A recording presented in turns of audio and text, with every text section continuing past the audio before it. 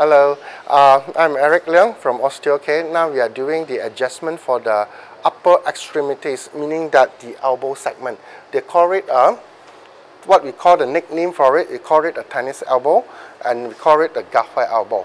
Actually, it's due to the uh, misalignment of the joint or tensions to the muscle. It make the it make the tensions of the elbow and uh, sometimes it get inflamed. Uh, this is the, might be due to for the housewife, due to the lifting of the plastic bag that pull up and then there is the twisting there. And then prolonged static positioning, then it will produce this kind of uh, uh, tendonitis. We call it golfer or the uh, tennis elbow. And those who are uh, retirees who like to play golf and uh, those who like to do gardening, this might cause, okay? The master Marcus check will do the adjustment for the elbow. He's experts in this. Go ahead.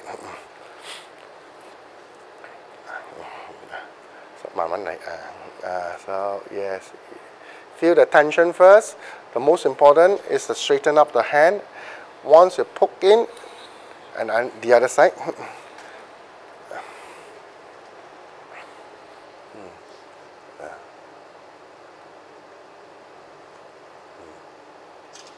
Mm, that's the one.